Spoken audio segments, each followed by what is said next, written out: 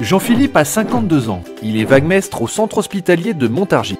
Bah, le rôle du vaguemestre au centre euh, hospitalier, c'est surtout la gestion du courrier. Le matin, on se rend à la poste pour aller chercher le courrier à la boîte postale. Ensuite, on le ramène au bureau pour le trier. Et ensuite, le redistribuer dans les services, euh, différents services du CHAM, ainsi que dans les maisons de retraite et tous les centres euh, externes à l'hôpital. Jean-Philippe est également amené à remettre des mandats dans les maisons de retraite.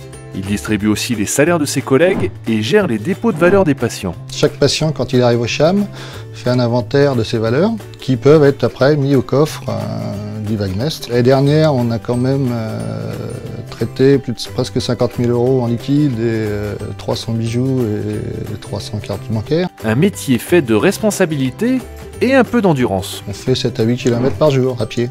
Il faut être ordonné, serviable, aimable, avoir le sens du contact avec les patients. Alors, ce que j'aime dans mon métier, bah, c'est l'autonomie, hein, une autonomie assez grande, et le contact avec euh, le, personnel et les patients. On a certains aspects difficiles, comme d'aller auprès de, de, malades qui sont, atteints, qui sont atteints de maladies graves ou en phase terminale, mais dans l'ensemble, il n'y a pas de grosses contraintes.